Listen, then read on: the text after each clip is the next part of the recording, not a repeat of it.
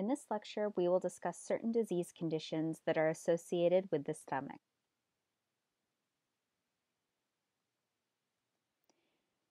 Here we have a figu figure of our stomach. We can see it is a J-shaped structure and it is located in our upper left abdomen. One important function of our stomach is to receive, process, and pass along the food bolus from the esophagus. Here we have the entry from the esophagus into the stomach. And this entry is controlled by the gastroesophageal sphincter, also called the lower esophageal sphincter, or LES. If this sphincter structure is incompetent, then we will have GERD, the gastroesophageal reflux disease, which we talked about in our lecture on esophageal diseases. Once the food arrives in the stomach, there will be a lot of um, motion going on, and different portions of the muscle on the stomach walls will be uh, mechanically mixing the food with the secretions from the stomach. Then it will eventually pass through the pyloric sphincter into the duodenum bit by bit.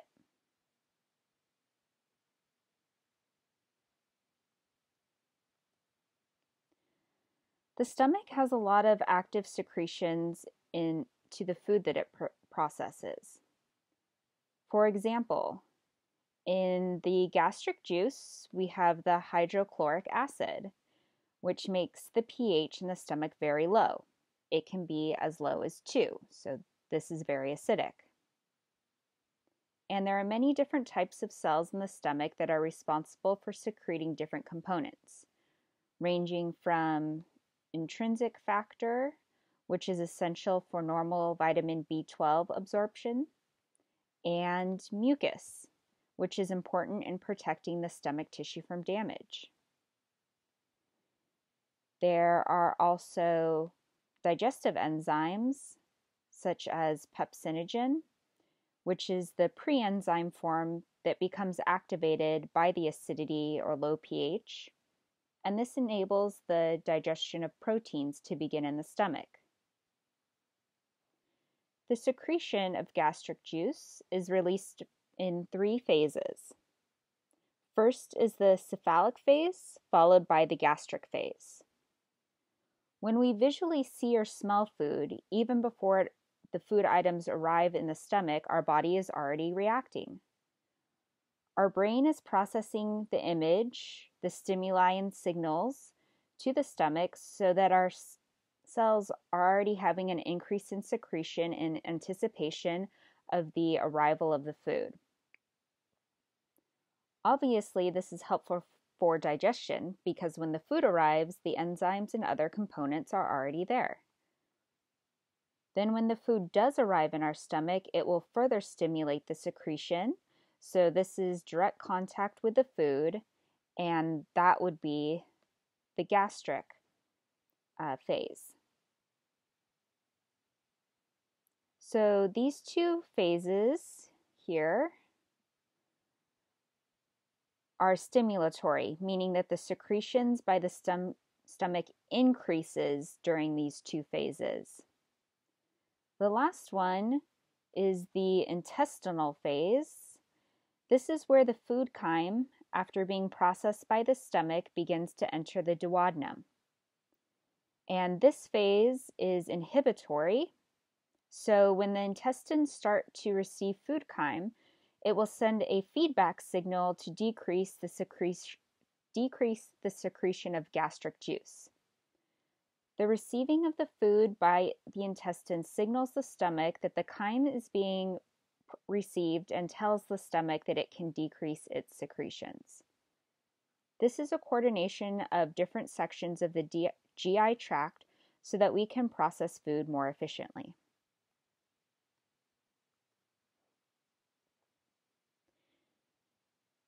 There is both mechanical and chemical digestion in the stomach.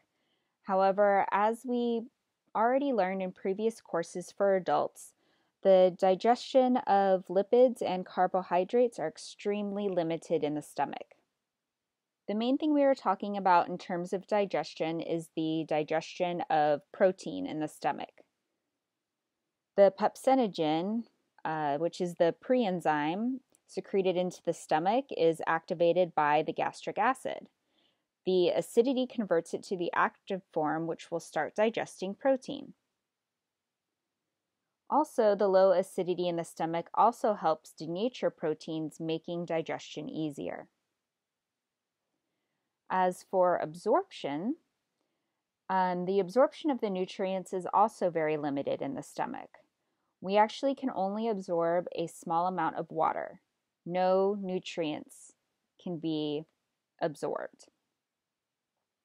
The exceptions are alcohol, and this is because the ethanol molecule does not require any digestion. It can be taken into our bloodstream intact, and this process can begin as early as in the stomach. And this can explain some of the well known effects of alcohol.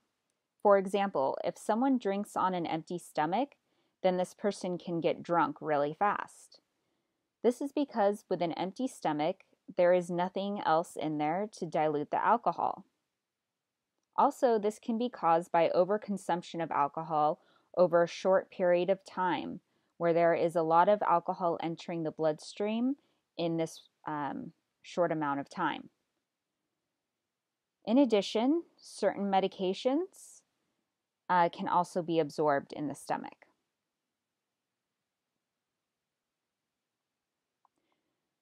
The first condition that we will look at that is associated with the stomach is nausea and vomiting.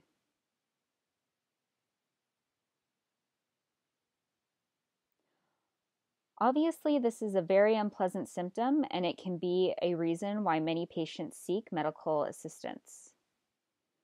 Nausea and vomiting can be caused by different factors, for example, drugs, toxins, or food contamination. In addition to these, metabolic stress or extreme emotion can also lead to this reaction. So we can think of maybe a time we've heard someone saying that they you make me sick. Sometimes this is a very literal description. Maybe we think we can't believe what we heard about something a person has done. Some people will literally throw up because of it. In some cases, nausea and vomiting is not the primary disease, and it could be a result of the more of a more threatening disease. For example, many people with brain injury, whether it's from trauma or brain cancer, or maybe they had a hemorrhage, a stroke, the intracranial pressure gets so high, it adds pressure to the center that controls for the nausea and vomiting reaction. In that case, patients will throw up. So, this is obviously not a GI condition to begin with. We would need to control the root cause. And this is actually one of the signs that they look for if someone has been hit in the head and may have a concussion, though it may take a good amount of time before the vomiting and other symptoms occur. So, for patients with nausea and vomiting, we really need to first investigate what the underlying cause is and then treat it accordingly. We do have certain medications that we can use to inhibit this reaction. However, some medications are temporary, so we really want to find and treat the underlying cause. If someone has prolonged vomiting, uh, in severe cases, they may start to vomit blood, which is hematid- hematemesis. Also, because the gastric contents being expelled have a lot of fluid, the person may become dehydrated. Also, due to the acidity of the gastric acid, they are losing a lot of protons, and this could lead to acid base imbalances. And for someone that has prolonged vomiting, their dietary intake would be poor, so malnutrition would be a concern. And for certain people, during the process of vomiting, they may accidentally inhale part of the contents into the airway, and this could cause aspiration pneumonia. This can be very dangerous for patients. Um, maybe if they're in a coma but have a vomiting reflex and they're not aware, or in elderly nursing home patients that may be very weak and can't do anything to prevent it, they can get this very life threatening condition. And then in really severe cases, the stomach could literally break or rupture.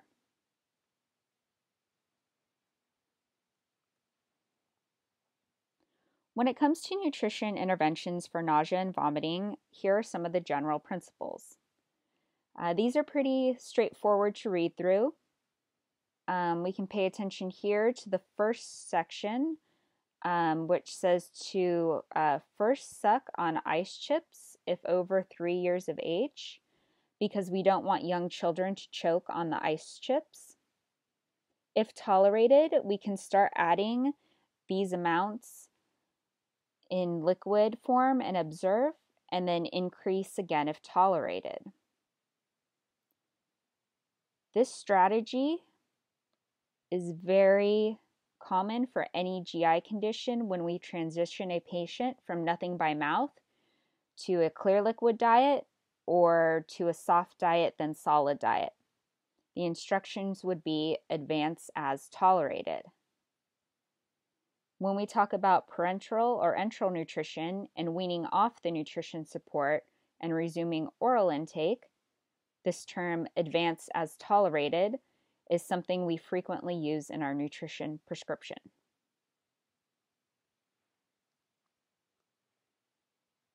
For people that have nausea and vomiting, especially if it is prolonged, they may have inadequate intake, dehydration, and the other issues we discussed.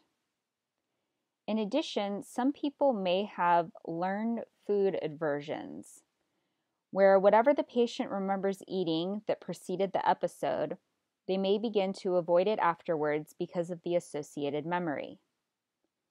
This is something we need to pay close attention to, especially in cancer nutrition.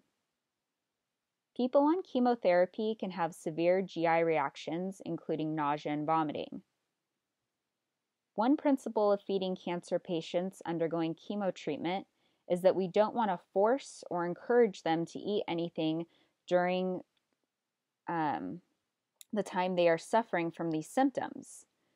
Otherwise, they may associate the bad feeling of nausea and vomiting with the food item or beverage we tried to force or encourage them to consume.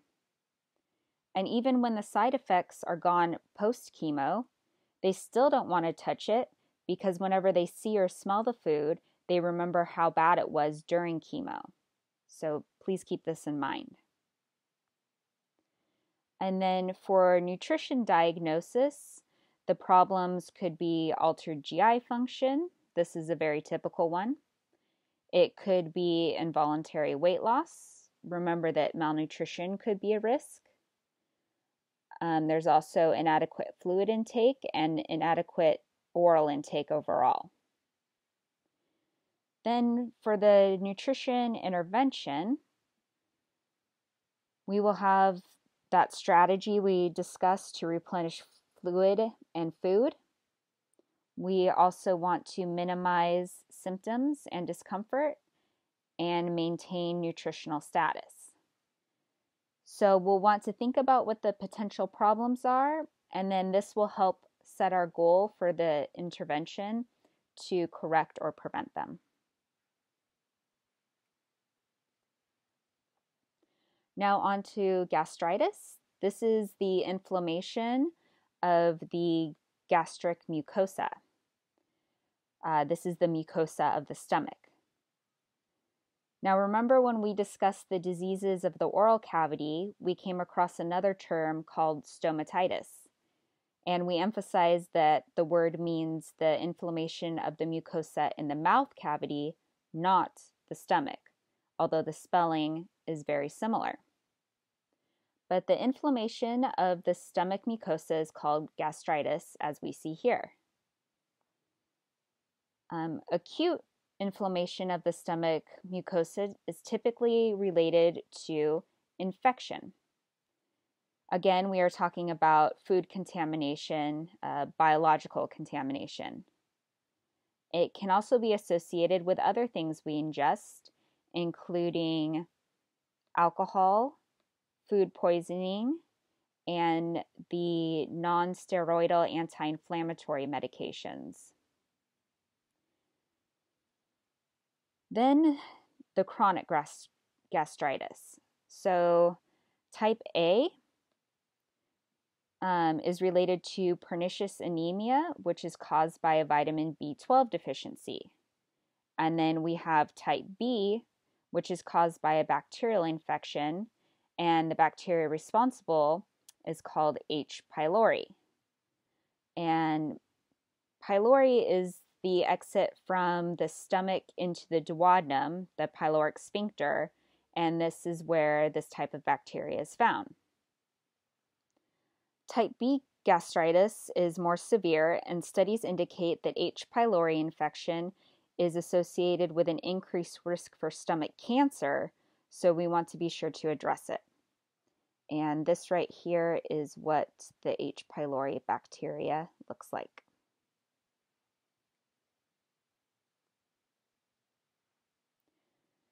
The injury or infection in the condition disrupts the protection of the gastric mucosa. Remember, one of the things secreted by the cells of the stomach is the mucus that protects the lining of the stomach.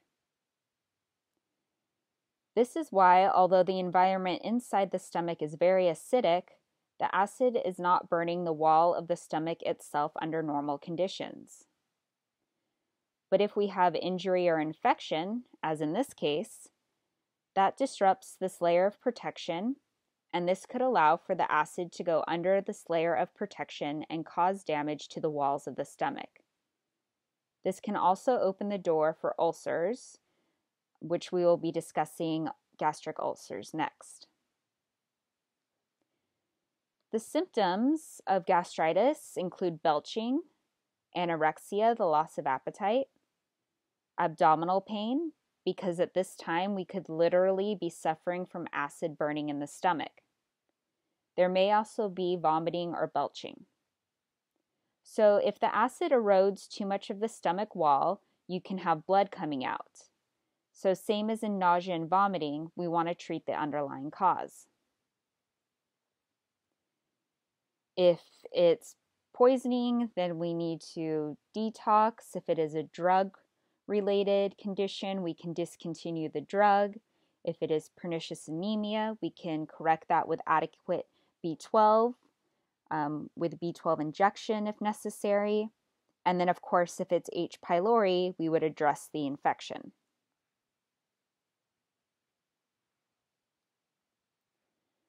Related to gastritis is peptic ulcer disease, or PUD. By definition, we know that for an ulcer, a certain surface is eroded. So the definition of PUD is ulcerations of the gastric mucosa that penetrates the submucosa. We know that the walls of the GI tract have different layers. So, starting at the inside, we have the mucosa and then the submucosa, and then further outwards, we get the smooth muscle layer. Again, the first layer is the mucosa. So when we see the penetration that reaches the second layer coming from the lumen side, then we have PUD. This is a very common disease. Um, and each year in this country, it accounts for over 600,000 or over half a million healthcare visits and over 350,000 hospitalizations. H. pylori is also associated with this. Some data indicates that 70% of gastric ulcers are caused um, are associated with the H. pylori infections. Again, this bacteria is also the cause of type B gastritis. And for duodenal ulcers, 90% are caused by H. pylori. So this is just a very bad bacteria. For clinical manifestations, we may have gastric pain, pain in the stomach region. It may be a burning sensation, and this description is very accurate because literally acid is burning the stomach tissue due to the penetration. To diagnose this, in the past, they would have done an x ray to see how the barium paste goes through the stomach and then see if there is anything in the mucosa layer missing. Um, however, now it's usually done with an endoscopy which is better because it can take a biopsy at the same time. So we know that chronic ulcers caused by H. pylori can increase the risk for stomach cancer. So we would want to be able to take a sample to check if there is a change in the pathology of the cell type while we are doing the endoscopy to diagnose PUD. Then for treatments, we um, use medications to treat H. pylori. And um, since its discovery back around in the 1980s, we have more than one medication that can deal with this bacteria. So we can treat the infection, which is the root cause. Since the root cause is bacteria, but the damage is directly done by the acid burning the soft tissue. Um, we would want to, at the same time, control the symptoms and the damage. So we would want to suppress the acid secretion. And remember, when we talked about GERD, we mentioned quite a few medications with this effect. So please review those.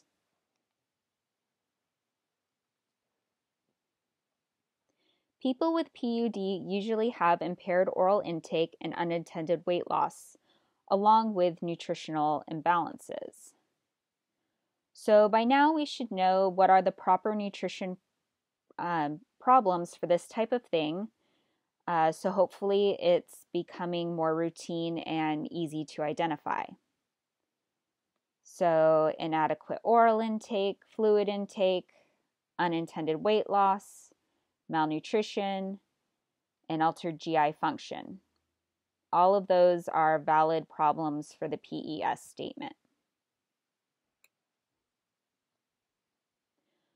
For intervention, we have medical treatments, so we want to support those with our nutrition intervention.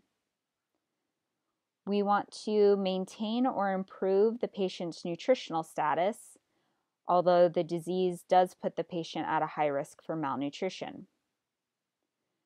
We also want to help minimize symptoms that the patient suffers from, like the pain and burning sensations, since people who feel this will likely not have a good appetite and um, then they won't have adequate dietary intake as a result. Similar for the nutrition intervention for GERD, nutrition therapy for PUD also needs a trial restriction of food. The patient needs to be educated on which foods are known to cause the exacerbation of the symptoms. Again, this is very similar to GERD because both conditions have damage done by acid from the stomach, so the same foods need to be taken into consideration. For example, Coffee stimulates acid secretion. Therefore, many patients with this history will go ahead and eliminate coffee from their diets or even tea, uh, things with caffeine. Alcohol is also a well known factor that stimulates gas, gastric acid secretion. And, you know, then some people will think that because the damage in PUD is done by gastric acid, that they should avoid acidic foods like orange juice because they think it will hurt more. Now, it does sound logical, however, evidence indicates that the pH of the food has little effect on this condition. If we think about this, even without consuming any acidic foods, the gastric acid itself can reach a very low pH, as low as 2. And what food item that we can actually consume can reach that low? So, although orange juice and maybe some other citrus juices are acidic with low pH, it is not as low as the natural pH within the stomach, therefore, you won't cause more damage. So it does make sense that the evidence now shows that the pH of foods has little effect. Then, during the trial period or even long term, patients should keep records to see what works and doesn't work for them. And also, if there are any food items that they cannot tolerate, they need to make note and avoid it. So, this would be part of the nutrition education, especially if we think food and nutrition related knowledge is part of the problem. Here's a summary of nutrition therapy for peptic ulcers. So, our patients may have a lot of questions about foods, and we want to be able to give them examples of what food or food groups are recommended and then what should be um, avoided or maybe reduced. So please read through this table carefully. To monitor and evaluate PUD therapy, we want to check the adequacy of nutritional intake because of the risk of malnutrition posed by PUD. And also, we need to check and follow up on the tolerance of the oral diet and specific foods and beverage items.